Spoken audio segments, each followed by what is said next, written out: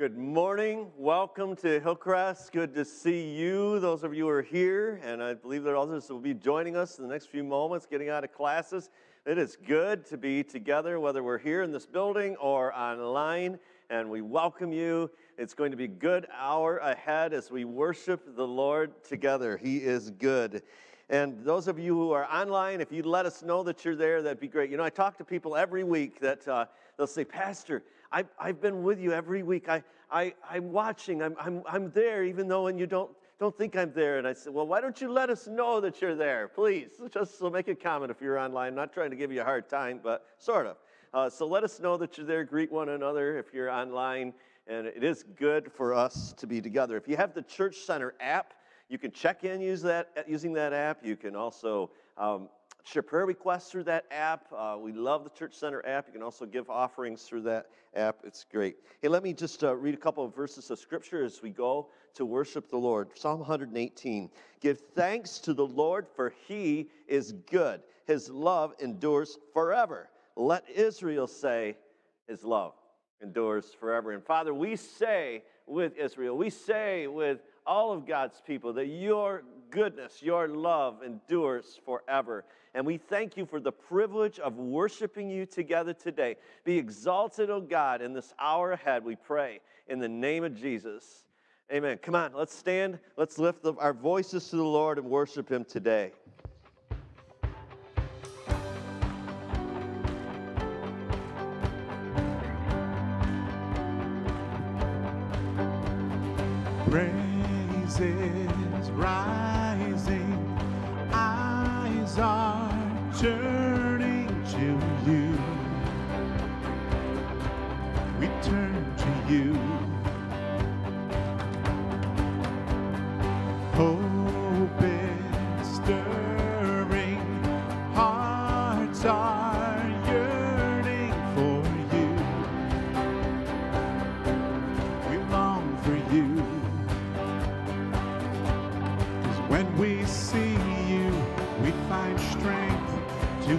The day.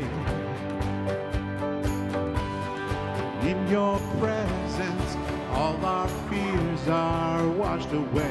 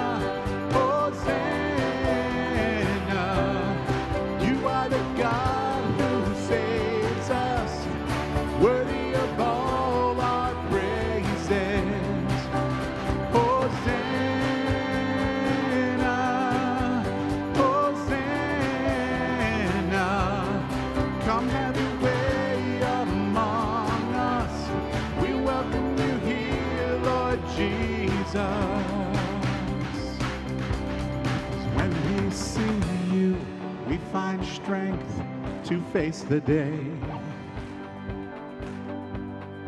In your presence, all our fears are washed away. When we see you, we find strength to to face the day. In your presence, all our fears are washed away, washed away.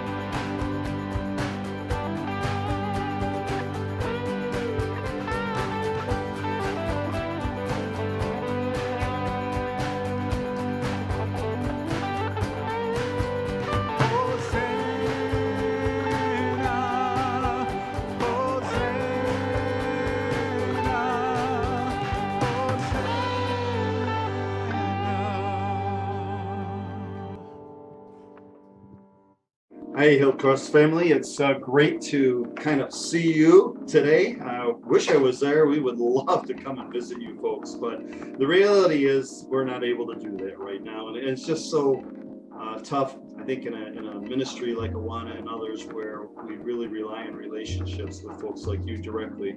It's just difficult to, at this time in season, to get out and, and visit uh, and, and stay safe and well and healthy. And we hear that uh, you folks are all doing pretty well there, which is encouraging.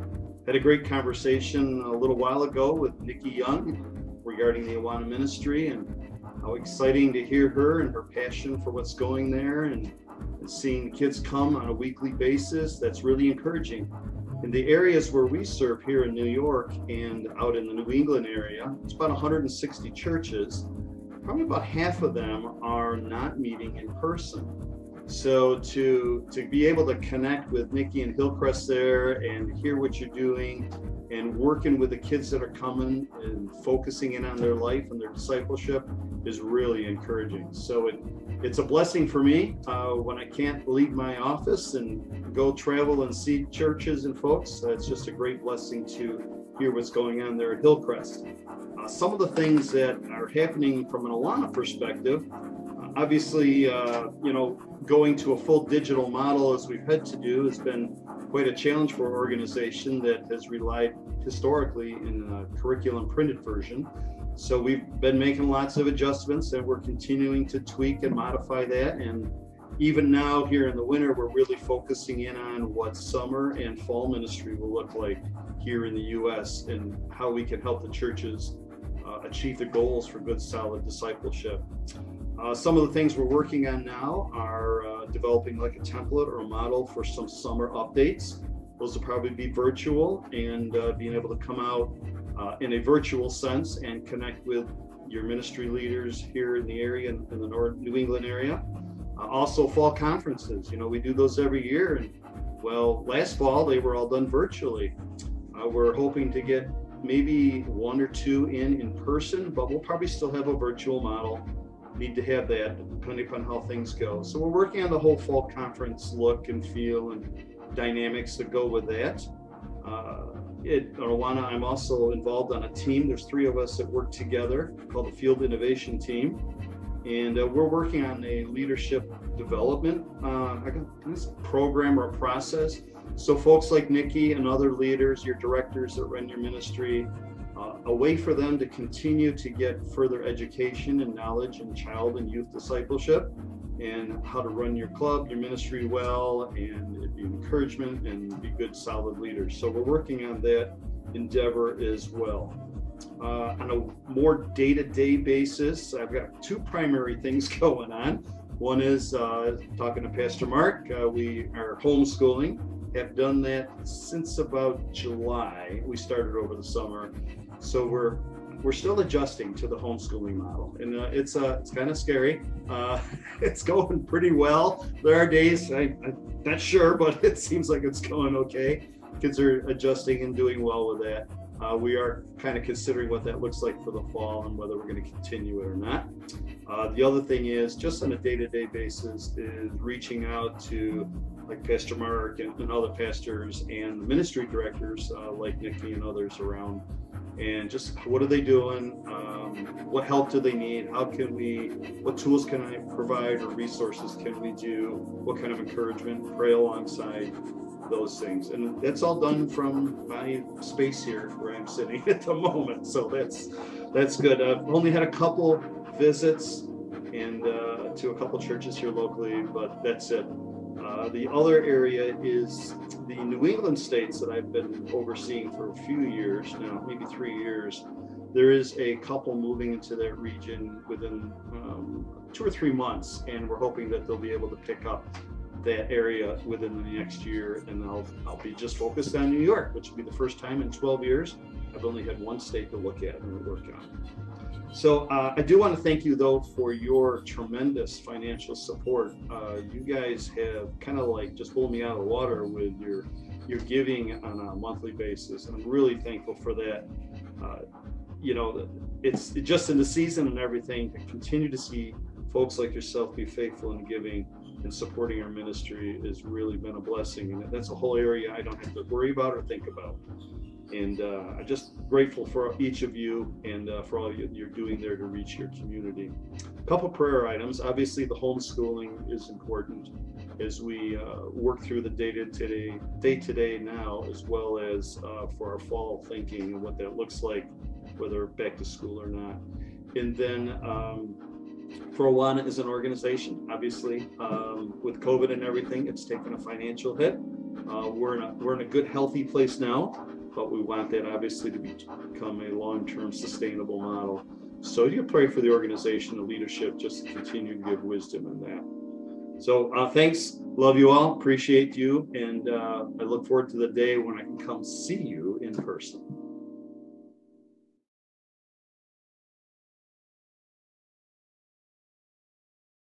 It's just exciting to be in this building on Wednesday night. Let me tell you, a lot of great things are happening. They're functioning at basically at capacity on Wednesday evenings.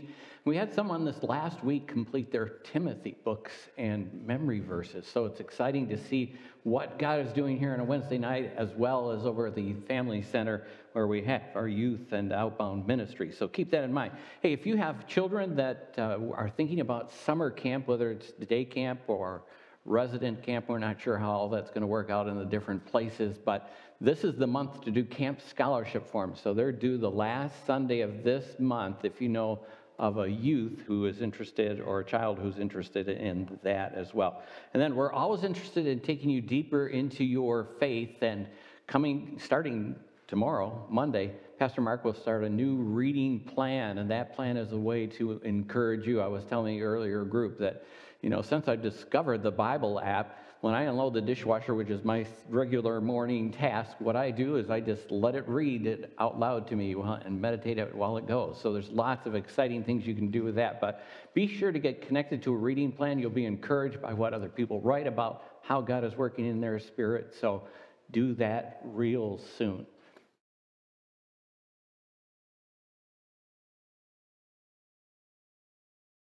Take a Bible, please, and turn with me to Matthew chapter 21. As Pastor Jeff said, I will starting another reading plan tomorrow. And if you aren't familiar with the Bible version, U, uh, version Bible uh, Bible reading plans, I'll get it yet. Uh, tomorrow would be a great day to join me. It's a seven-day plan, and we'll read God's word and be able to process it together. Details are in your bulletin. If you go to the internet, just download um, the bulletin. If you're online, hillcrestjamestown.com, you'll see all the details there and how to join me uh, tomorrow. So we're in Matthew chapter 21. I'll give you just a moment to turn there. we're going to read just a few verses uh, together. Matthew chapter 21, verses 12 to 17. How long as I read? Jesus entered the temple area and drove out all who were buying and selling there. He overturned the tables of the money changers and the benches of those selling doves. It is written, he said to them, My house will be called a house of prayer, but you are making it a den of robbers. The blind and lame came to him at the temple, and he healed them. But when the chief priests and the teachers of the law saw the wonderful things he did and the children shouting in the temple area, Hosanna to the Son of David, they were indignant. Do you hear what these children are saying? They asked him. Yes, he replied. Have you never read? From the lips of children and infants you have ordained praise. And he left them and he went out of the city but to Bethany, where he spent the night. This is God's word to us today. Well, it's my privilege to lead us in prayer, so would you join me, please? Let's pray together today. And Lord, we join the children in recognizing the obvious that, that you made it all, that the sun, the moon, the stars, the planets, everything in all of creation, everything in the universe is what you made. The mountains and the hills, the rivers and the streams, the animals on the ground, the birds in the air, all are from your hand. And we say with the psalmist, Oh Lord, our Lord, how majestic is your name in all the earth. And God, you have made us, each one of us, in your image and crowned us with glory and honor, just a little bit lower than the angels. Lord, you see us as we really are. You see our weaknesses. You see our faults. You see our failings. You see our doubts. You see everything about us. You see our needs. And you see us, Lord, seeking you this morning. And we thank you, Jesus, that you promise those who seek find, and those who knock find that the door opens. And so we come to seek and to find you today.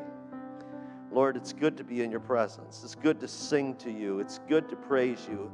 And it's good to bring our needs before you. Thank you that you're a God who leans in. Right now, you're leaning into each of us. God, we think this morning of Bart Johnson's family. Bart, who went home to be with the Lord, he's been part of this family for years, and he and his wife Phyllis, they were just such an important part of this family. In recent years, they've been in Florida, but we think of Phyllis today, her heart obviously broken, loss of her husband, but also knowing that he's home with you is, is comfort. And we think of Sandy Walbesser today, Kevin and the Walbesser family and the loss of Sandy's brother, Bruce. God, we think of the Quattrone family. We think of Jim and Wayne and loss of their stepmom, Flo. We think of their dad, Wayne, and know that his health is is not great either. And so, Lord, we lift up these families to you today. And we pray that you would make your grace and mercy and peace and presence known to them. May you be their comfort and strength. We think of others that have been coming to Grief Share this past week as we started, and others will, will be joining us this week. And we pray that Grief Share Monday nights would be a, a source of comfort and peace and healing to broken hearts. Now, maybe you know of a family, somebody that's going through a, a, really difficult time with the loss of somebody, loss of something very special, perhaps, in their lives. I want you, and I haven't mentioned their names, I want you to call out, out to the Lord right now. Just lift them up to the Lord and say, Lord, I pray for this one today. I'm just going to pause. You pray.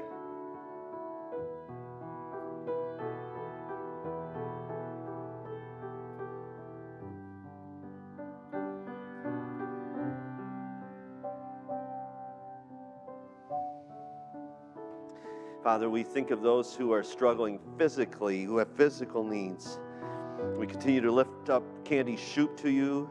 Candy and John, thank you for her successful surgery and that she is home now and that they're able to join us this morning online. But we pray for Candy's continued healing.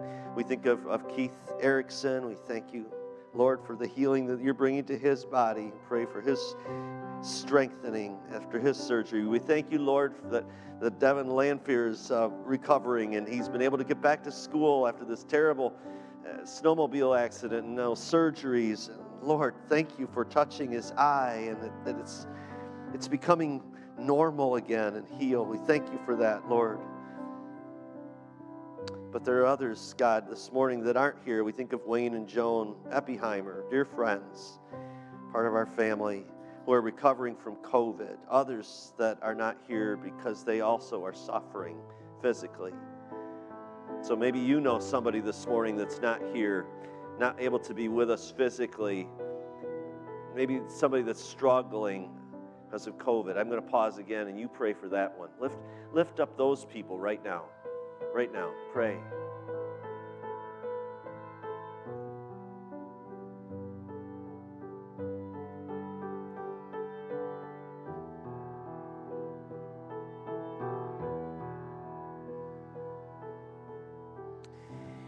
Well, Lord, we thank you that you hear, that you care, and that you are more than able to answer. And so, thank you for the privilege of bringing these things before you, these people, these situations, these problems, these opportunities for you today. And we look for you to answer. In the strong name of Jesus, we pray this morning. And we all said, Amen. Let's continue to worship the Lord. Come on, let's stand.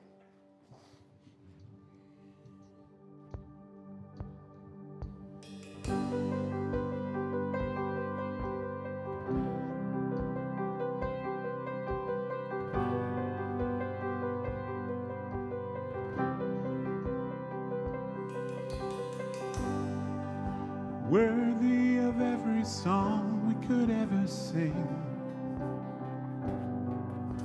Worthy of all the praise we could ever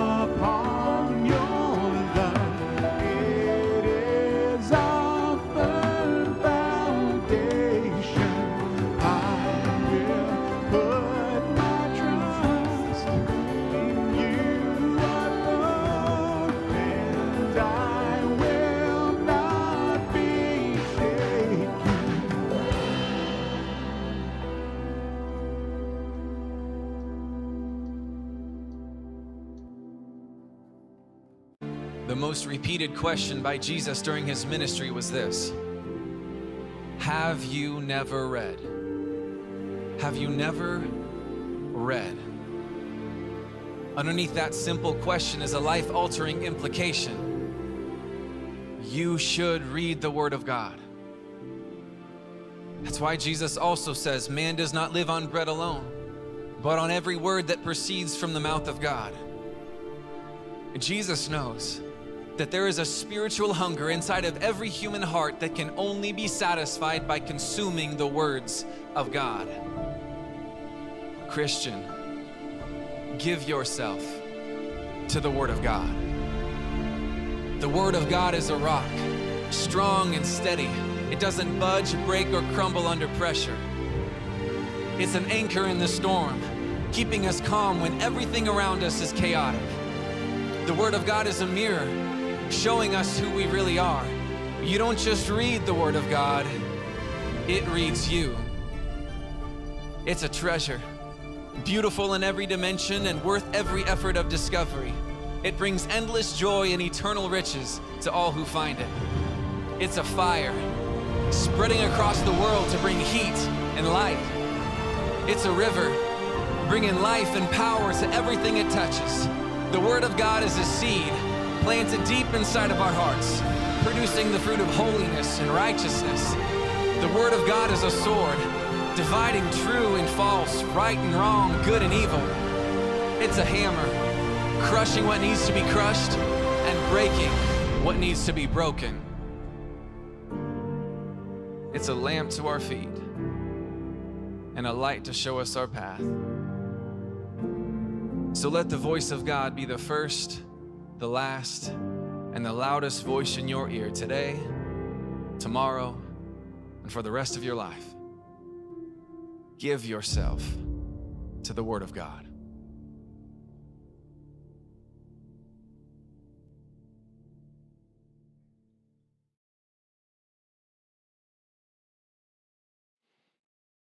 Did you know that your body is God's house? It is. The Bible says that God does not live in houses made with human hands. He lives in you and He lives in me. You are God's house. But like every other house, right, uh, we need some cleaning from time to time. Now, at the Hinmans, the way it works, on Saturdays are typically sort of the cleaning day, you know, everything from the bathroom to the laundry to picking up the yard and, and uh, washing the car, whatever the normal sort of maintenance stuff that's on the, on the agenda for the day needs to get done. But then, usually, uh, fall and spring, you know, we have what my mother used to affectionately call deep cleaning, all right? Fall, fall and spring cleaning. And this was the time we, you, you get to clean all the windows in the house. And my least favorite job, cleaning the eaves troughs. All right, and then my wife usually wants to haul out the basement and get some stuff out of the garage, and we make a dump run and all of the rest. It's clearing out the clutter. We do the deep clean. Well, here's, here it is. I believe the Lord wants to do some deep cleaning in us this morning. So the title of the message today is When God Cleans House. Take a Bible and let's turn to Matthew chapter 19. We're going to start there. Matthew chapter 19. This is our 15th week in the Gospel of Matthew. We're going to be here for uh, another month or so, and the series is Kingdom Living Here and Now. We're going to get some quick background from chapters 19 and 20, and then we're going to move on to our key text, which is in chapter 21. So here's the big picture Jesus has completed his ministry in the Galilee region. For the last three years, he's been largely focused on the people in the towns and villages around the Sea of Galilee. He's been preaching and teaching in the synagogues. He's, he's been healing the sick, the blind, the deaf, the mute, the, the diseased of all kinds. He's, he's calmed the storms. He's multiplied loaves and fishes. He's transformed water into wine. He's even raised the dead. And the light is beginning finally to dawn on his followers that he is the long awaited promised king. He's the Messiah. So, chapter 19, verse 1 tells us then that Jesus left Galilee and went into the, regi- the region of Judea to the other side of the Jordan. All right, we're going to show you a map. Jesus has been based up in the northern part of Israel in a town we know as Capernaum, right? We've talked about this recent weeks. He leaves Galilee region now, northern Israel, crosses the Jordan, and then heads south to the area of Judea, which is largely around the area around the city of Jerusalem. He's going to make a stop in the city of Jericho, which is at the northern end of the Sea of, uh, or excuse me, the Dead Sea. Now, the Dead Sea is the lowest place on the planet, uh, 900 feet below sea level. And from here, Jesus is going to climb 3,400 feet uh, going up to Jerusalem. So that's where we're headed, and we'll get to that in just a minute. So, again, Matthew chapter 19, verse 2 tells us that large crowds followed him. So he continues to preach, he continues to teach and heal people along the way. We'll show you a picture of a Roman road. This is the Roman road that Jesus would have walked on 2,000 years ago to get from Jericho to to Jerusalem. It's still there today. It's about a 15 mile walk, you know, good, good day's journey on foot. Now, let's turn over to chapter 20. Told you we are going to go fast. Here we go. Jump down to verse 17. Chapter 20, verse 17. Now, as Jesus was going up to Jerusalem, he took the 12 disciples aside and he said to them, We are going up to Jerusalem, and the Son of Man will be betrayed to the chief priests and the teachers of the law. They will condemn him to death and will turn him over to the Gentiles to be mocked and flogged and crucified. On the third day, he will be raised to life. So Jesus has been predicting now for some time his death and his resurrection. But Matthew is now in the coming uh, eight chapters, he is going to slow everything down. He's going to bring us up close and personal to that last week of Jesus' earthly life. And it all begins with Jesus' triumphal entry into Jerusalem. This is the, an event that all four of the gospel writers record for us. And you know what that tells me? That tells me that God wants us to get it. He wants us to understand what is going on here. Now, sometimes, you know, the Lord will say, hey, hey, hey, listen up, listen up, right? Surely, surely, verily, verily, amen and amen. But the fact that Matthew, Mark, Luke, and John all record Jesus' arrival in Jerusalem tells me that God wants us to understand how significant an event this was when Jesus arrived in Jerusalem. Crowds of people lined the street. I've been to those streets. Now, probably they look differently than they do today, but I tell you what, it is a thrilling thing to be able to stand there and in your mind's eye imagine what it would have been like to have crowds of people line the, the path as Jesus came over the Mount of Olives and went into the, the holy city. To, and, the, and the people celebrated it, right? They were there to celebrate his entrance into Jerusalem.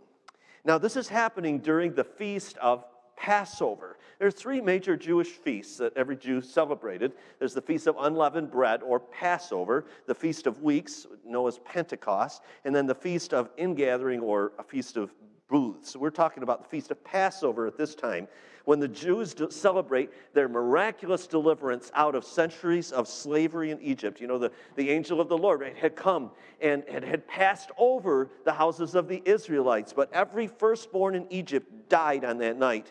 And that was the miracle that finally that convinced Pharaoh to let Moses and the people go. So Passover was commanded by God to be celebrated each year, and it was the dream of every Jew to be able to celebrate Passover one day, at least one time in their lifetime in Jerusalem. So many people st- streamed to Jerusalem when it came time for Passover. In fact, um, the historians tell us that Josephus, uh, a Jewish historian, tells us that the, the population in Jerusalem would swell up to five times its normal uh, capacity, right? So estimates are maybe upwards of 2.5 million people are sardined into Jerusalem for Passover.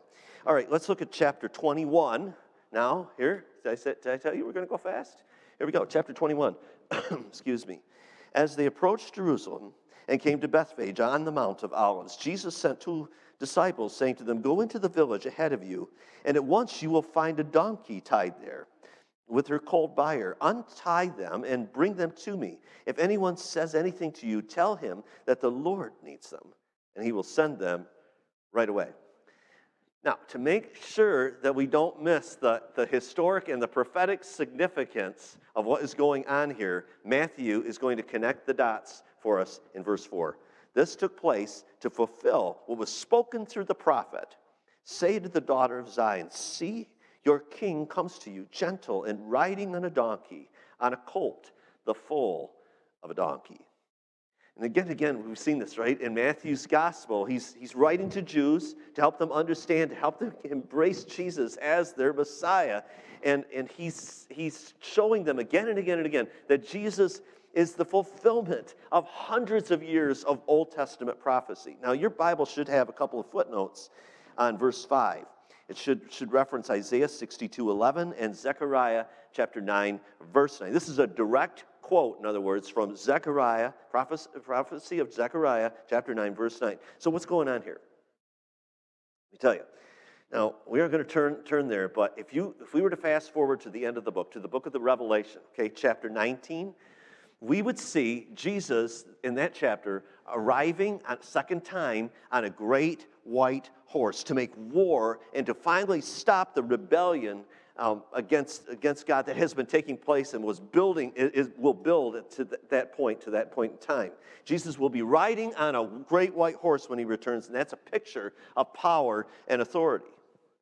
Is he riding on a great white horse here? Not even close. He's riding on a donkey. So this isn't a picture of power and authority, it's a picture of humility.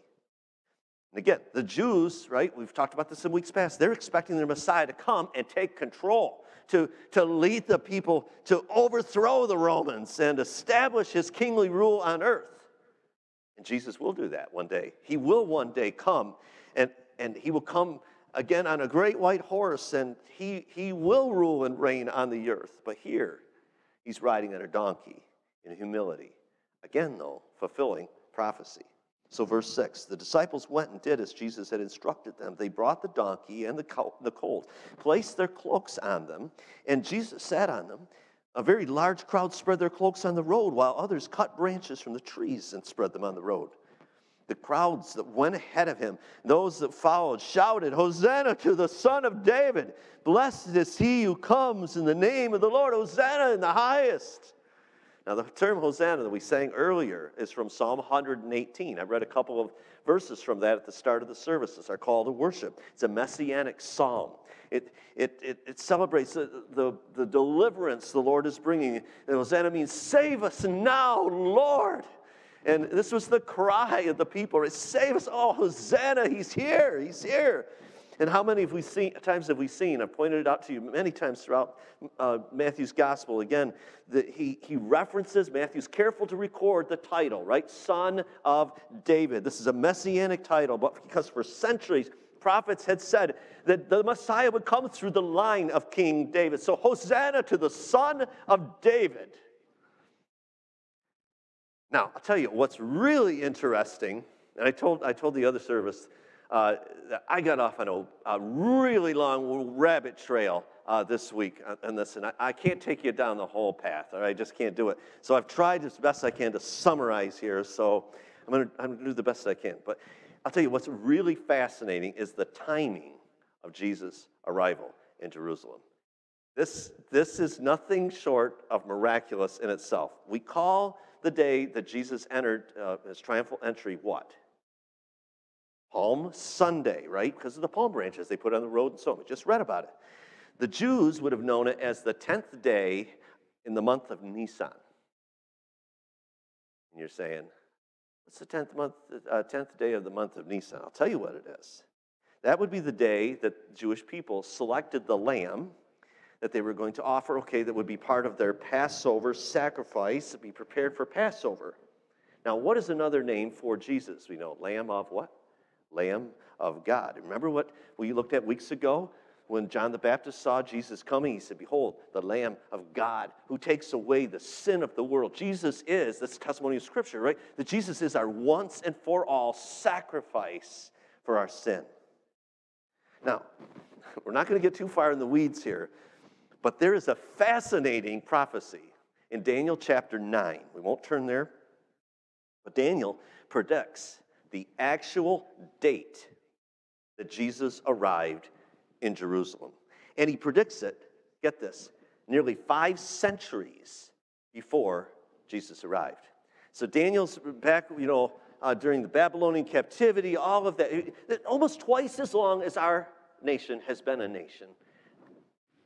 Daniel prophesied, the Lord prophesied through Daniel the date, the exact day Jesus would arrive in Jerusalem. It's no joke. Um, there was a, uh, an officer of Scotland Yard about 100 years ago, Sir Robert Anderson, who traced this out, wrote a book called The Coming Prince. And Daniel's prophecy, so it begins in 445 BC. BC, 445 BC, okay? There's a decree issued uh, that the temple in Jerusalem, which has been destroyed, can be rebuilt. And, and Daniel, Daniel says, he references seven sevens and 62 sevens. That's a reference to years, okay? Seven years and 62 uh, uh, reference. It's, it's a collection of years, all right? And Sir Robert Anderson, using Babylonian uh, calendars and so on that they would have used at that time, comes up with the number of 173,880 days. Okay? That's the, from the time the decree was issued to rebuild the temple to the day the Messiah would appear in Jerusalem. You do the math, you trace out the calendar, guess where you land? On 10th day in the month of Nisan, or April 6th, 32 AD. It's right here. I say the Lord is seldom early, but he's never late.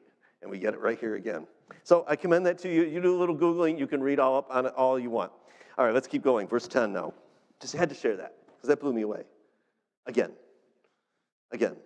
Verse 10. When Jesus entered Jerusalem, the whole city was stirred and asked, Who is this? And the crowds answered, This is Jesus, the prophet from Nazareth in Galilee. Now, notice that. While many of, Jesus' closest followers, disciples, right, are, are, are believing that he's the Messiah, there's still others who remain skeptical. Obvious here, right? They, some of them are still thinking of him as a, a rabbi, a really good rabbi. Maybe, maybe a prophet, and he's from, you know, he's from Nazareth up in Galilee. So, despite the years now of teaching and preaching, despite the countless miracles that have, that have, that have been done, many still did not believe. And you know what? That isn't all that different than people today. Am I right? How many people don't believe today, despite all that God has done over the past 2,000 years and continues to do? You know, the Apostle Paul wrote, 2 Corinthians chapter 4, verse 4, that the devil, the God, he says, the God of this age has blinded the eyes of unbelievers so that they cannot see the light of the gospel of the glory of Christ, who is the image of God. Can't see it. And some of us understand that full well, right? Because it wasn't too long ago that we couldn't see it. We couldn't see Jesus either, right? Until the Lord took off the blinders and un, uh, unplugged our ears so, and our hearts so we could see and understand and realize just exactly who Jesus is. And you know what? My prayer today is if you've never come to a saving faith in Jesus as your Messiah, as your Savior, as Lord, today would be the day when you cross the threshold from unbelief to belief, to full fledged embracing Jesus as Lord of your life. Now, we come to verse 12. And this section from 12 to 17 is going to be our focus for the rest of our time together. So let's look at it. Verse 12. Jesus entered the temple area and drove out all who were buying and selling there. He overturned the tables of the money changers and the benches of those selling doves. It is written, he said to them, My house will be called a house of prayer but you are making a, a den of robbers. Jesus enters Jerusalem, and the first place he goes to is the temple, and he begins to clean it out, to clear it out. Now, according to the uh, Apostle John, this wasn't the first time this had been done, that Jesus had done this. In John chapter 2, John says Jesus had done this before earlier in his ministry, three years, I'm guessing, earlier, in the beginning of his ministry. And at that time, he took a whip. He made a whip and he chased the money changers and the, those selling doves and so on out of the temple area. He, he, he was yelling at them, Get out! Of, how dare you turn my father's house into a market? Apparently, they didn't learn their lesson because he's back doing it again. Now, some of you may be reading this and thinking, wow, I mean, Jesus, I mean, obviously had some real anger issues. You know. But here's the thing we need to understand that not all anger is sin. There's such, thing, uh, there's such a thing as righteous anger. And that's what Jesus is demonstrating here. Righteous anger is being angered, angry about the things that anger God. I'm talking about racism. I'm talking about injustice. I'm talking about child abuse. I'm talking about exploiting the poor. I'm talking about neglecting widows. That really gets God amped up, and it would get Jesus amped up. You know, but but but Ephesians chapter four reminds us that we're to be angry and yet not sin. Right? We're not to let the sun go down on our anger, not to hold on to it. It's Paul says, don't give the devil any um, foothold, right, in your life. No, Jesus was angry, but his anger was directed toward those who were abusing the temple. That's why he was angry. You see, the temple was a place the Jews offered their, their sacrifices. But often, the way it worked, I mean, in Jesus' day, people would show up with their lamb to be sacrificed, and the priest wouldn't allow it. And historians, it's interesting, historians record that there was actually rabbinical schools that provided a full 18 months of training to teach, to teach rabbis how to pick out the defects in lambs. So you don't see it, you don't see, they don't see it, but I see it, and that lamb is not going to be sacrificed. No way. No way. So most people, here's the reality most people ended up buying their lambs or their doves from the temple priests to make sure they were qualified to be an acceptable sacrifice. And on top of that, if you wanted to buy an animal to be sacrificed in the temple, you had to buy it with temple money. You couldn't use your Roman money. You had to exchange your, your Roman money for temple money. And guess what? It wasn't a dollar to dollar exchange. In fact, it was an exorbitant uh, exchange rate. And guess who's getting rich all the while off this racket? The priests, the religious leaders, the big shots. See, that's the problem. The temple was controlled by corrupt religious leaders. They were extorting, they were stealing from the people that they were supposed to be serving. And so, for three years, and we pointed out several times, right, in Matthew's gospel, Jesus has been exposing these leaders for the frauds that they really were. He called them brood of vipers. He called them whitewashed tombs of, of dead man's stinking bones. You know, that, that's the kind of language he used for these people. And he said their worship had, in the temple had become all about externals. It's all about just what people see going through the motions, but it was empty, dead religion. Going through the motions of worshiping God, but he said their hearts are far from him.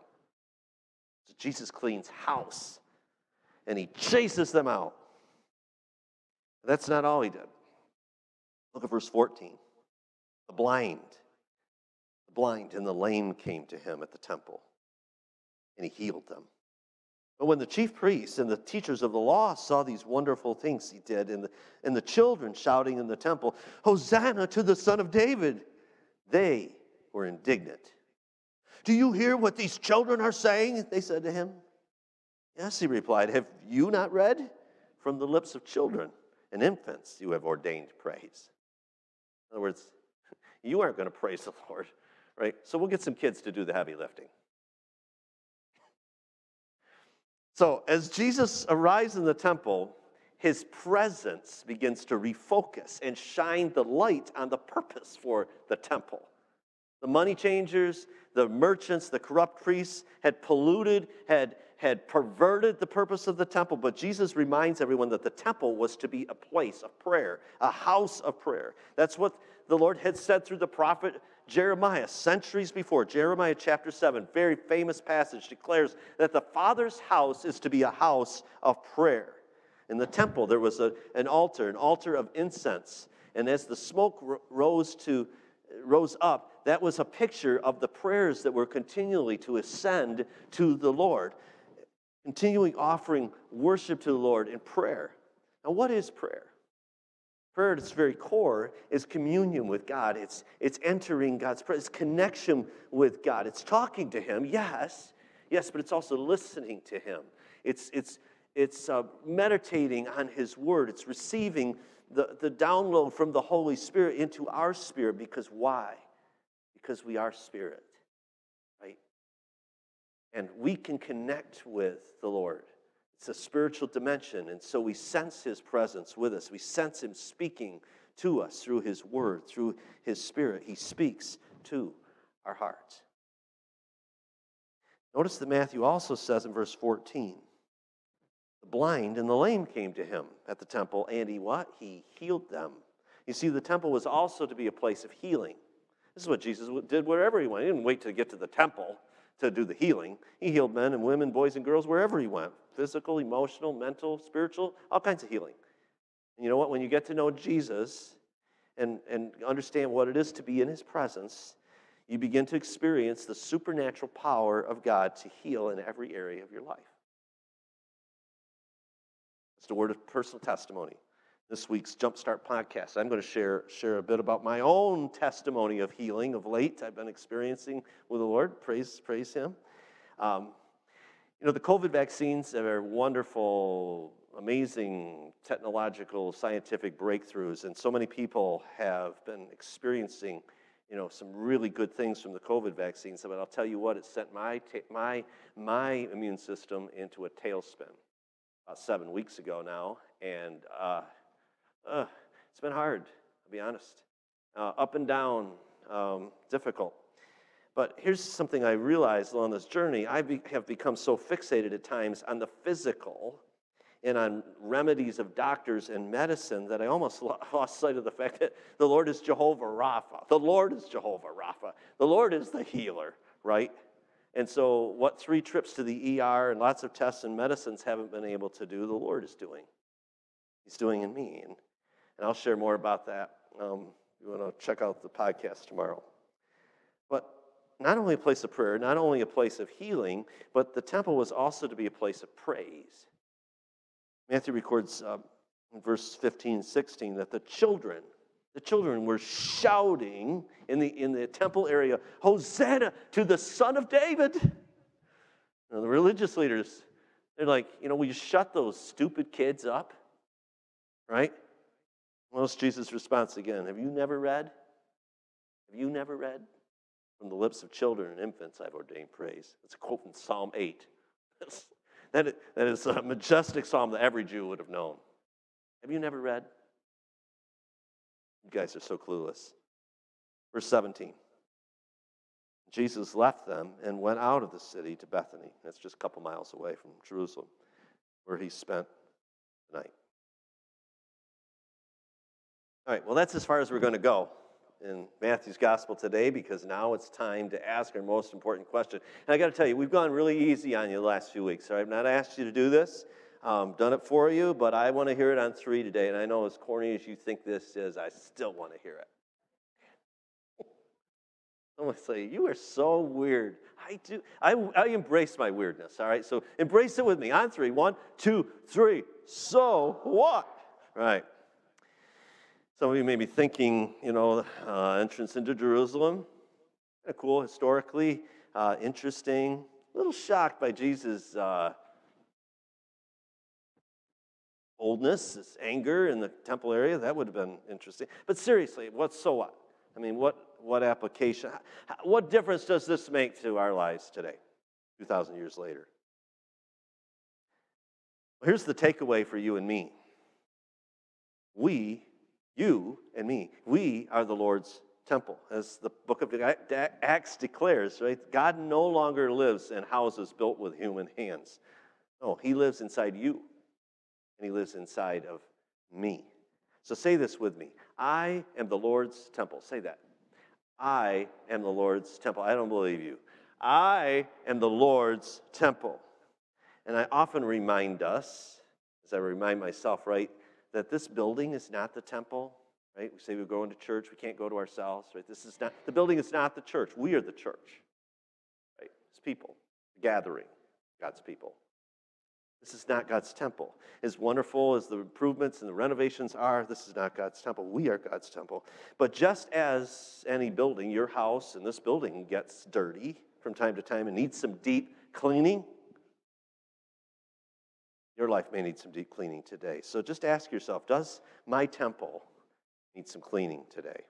Perhaps, for instance, like, uh, like the temple in Jerusalem in Jesus' day, your temple, truth is, it's become corrupted with stuff that doesn't belong there. It could be like the money changers that you are taking advantage of people on a regular basis. You're cheating people out of money, out of resources. You're stealing from your place you work at. You're fudging the numbers pretty regularly. And you somehow rationalize that. Convince yourself that's okay. that It's not okay. Maybe, maybe, maybe it's a situation where you are just really wrapped up with money making money, accumulating money, having more and more and more possessions. And so maybe today, in your heart, as you're sitting here, as you're sitting at home, wherever you are, the Lord has begun tipping over some tables in your heart today, in your thinking, exposing some of the stuff that frankly need to go. It needs to get cleaned out. Or ask yourself, am I like the religious leaders and primarily focused on externals? It's all about what other people see, what they think about me. Are you one person on the outside and somebody, I mean, totally different on the inside? Full of ugliness. You put up a good show, you put on a great act, but today you feel the conviction of the Holy Spirit. And, and Jesus sees, He is bringing, He is exposing what's on the inside, your hidden habits, your secret desires, right? Perhaps an addiction that you think nobody knows about. Well, I tell you what, the Lord knows. He sees. And He's ready to clean house today. It's time for it to go. Third, ask yourself is my temple a place of prayer? How, how important is prayer to you? When you come to prayer during the Sunday morning service, are you one like, oh, you know, here we go again. Oh, this is the most boring part of the service. Can we get on with something else? Or is fresh prayer on Thursday nights ever a priority for you? You know, 1 Thessalonians chapter 5, 17 says that the Apostle Paul says that we are to pray without ceasing. And I'm pretty sure he's not meaning that we should be on our knees, you know, um, uh, 24 7. I think he, it means that we are to maintain a connection hour by hour throughout the day with the Lord. So, as the Holy Spirit nudges us, as He reminds us of things, as we see people, as we encounter situations at any moment, we can pray audibly or inwardly because we have connection with the Lord. To pray without ceasing. Is your temple a place of prayer, or is prayer just an occasional thing? When it happens to fit in, when it seems convenient at the beginning of the day, at the end of the day, maybe every seven days. Today, maybe the Lord would clean out some things in your schedule, and He's bringing conviction to you that, you know what, something needs to be reordered here. Some priorities need to happen here that, so that prayer can become a priority in this temple, your temple. How about healing? Ask yourself is my temple a place of healing? Are you experiencing the Lord as your healer physically, emotionally? mentally, physically, spiritually. Tell you what, the Lord would do that. He would be that and more. And He would make your temple a place of life and healing for others. So, are you someone who sees and cares and prays for and loves on those who are sick and lonely and sad and broken? Today, the Lord would make your temple a place of healing for others. Last question. Ask yourself Is my temple a place of praise? You know, um, I'll speak for myself. Whining and negativity uh, come as naturally as anything, right? I, it, to me, it's, it's my default setting to be a whiner, and it could be a complainer. The easiest thing on the planet to be for any of us is to be a whiner to point out the faults. Oh, they didn't do that. Oh, I don't like that. I got a problem with this. You know, I get it. I do the same thing. It's the easiest thing to be. But our temple should be a place of praise. Our, our life should be a place of praise. Do you find it easy to praise the Lord and give Him thanks and to recognize and to celebrate His abundant goodness to you today, right now? The blessings in your life. You and I are the Lord's temple. What needs to be cleaned out of your life today? I want us to bow before the Lord. Let's put our Bibles and notes aside. And I want us to take just a few moments, and I'm going to give you some time of quiet to search your heart and to come clean with the Lord and allow Him to do the cleansing and the cleaning, the clearing out that needs to happen today. And then I'm, I'm, I'm just continuing prayer, but Pastor Jeff is going to come then, close that time, and then lead us into a time of remembrance at the Lord's table. So take this time right now. You talk to the Lord. You ask the Holy Spirit to search you. You know, that's a prayer that Holy Spirit's more than capable of doing right now. What needs to be cleaned out? What needs to go?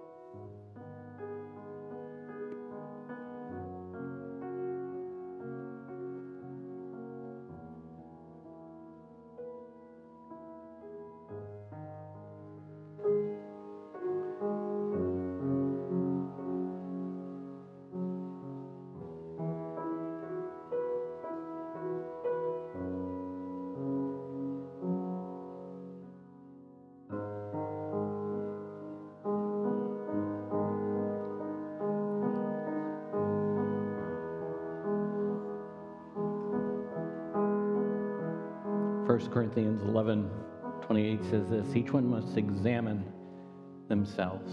And I hope this has been a time, as Pastor Mark has shared with us this morning, of examining your own life, discovering where God is speaking to you. I love this verse from Second Corinthians chapter 7 verse 10 it says godly sorrow brings repentance that's change that leads to salvation and it leaves no regret if god is speaking to your heart today about some change that you need to make, then it, there won't be that regret. Then it says, but, but worldly sorrow brings death. So I want to encourage you just to accept and embrace what God has spoken to you today in this passage. For those of you at home, if you would get ready for communion, those of you here, if you would just peel back that first layer on your communion cup today and grab that piece of bread while I read. For I received from the Lord what I also passed on to you. The Lord Jesus, on the night he was betrayed, he took bread, and when he had given thanks, he broke it and said, This is my body, which is for you. Do this in remembrance of me. Let's take a moment to pray before we celebrate the bread.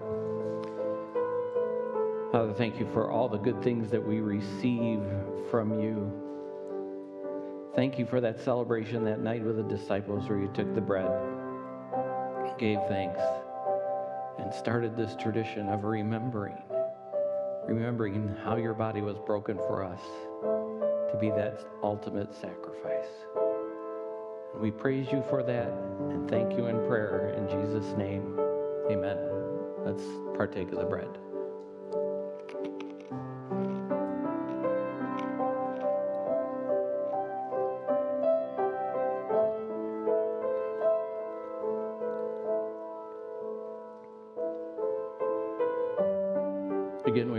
From 1 Corinthians. In the same way, after the supper, he took the cup, saying, This cup is the new covenant in my blood. Do this whenever you drink of it in remembrance of me. For whenever you eat this bread and drink this cup, you proclaim the Lord's death until he comes. Let's take a moment to pray. Jesus, thank you for your covenant throughout all of Scripture, your promises to us. We are praising you today for that new covenant, the new covenant in your blood that grants us forgiveness of sins, abundant life, eternal life. So as we drink this cup today, we proclaim that in your death we can celebrate eternal life. In Jesus' name I pray. Amen.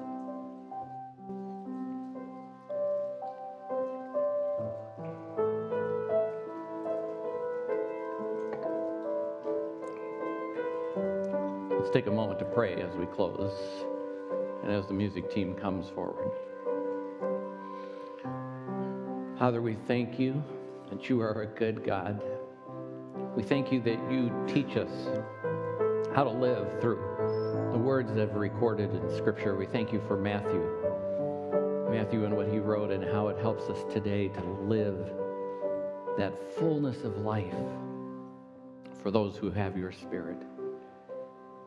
So now, as we continue in worship this morning, in prayer, we praise you for your goodness to us and the love that you show to us.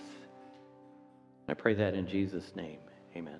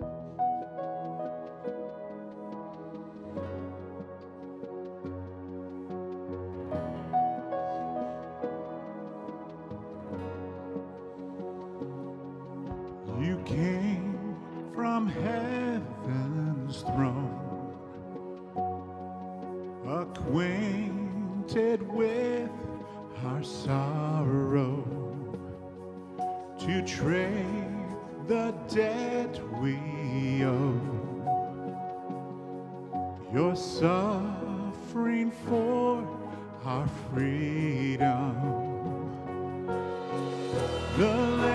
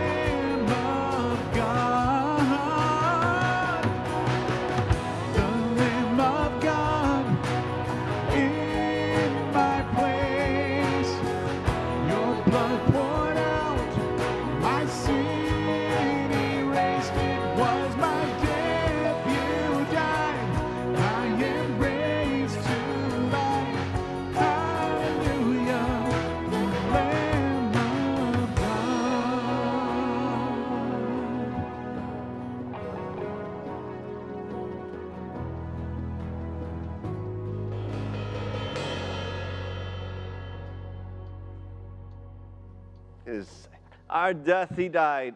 Yes, yes. Go ahead and be seated if you're here, please, just for a few moments. And one of the ushers will dismiss you just just a moment. Hey, just a couple of reminders. Those of you who are here uh, and those of you who are online, uh, today, first Sunday of the month, we have uh, a plate in the lobby for the Deacon Benevolent Fund. That fund uh, goes to help those who are going through times of financial need. You can also give to the Deacon Benevolent Fund through the Church Center app. So encourage you to be uh, faithful in that way. Also, I mentioned earlier the Jumpstart podcast, new episode uh, tomorrow, and I'll be sharing some more of my personal uh, journey over the last few weeks. I appreciate your prayers and concern over the last few weeks. Thank you.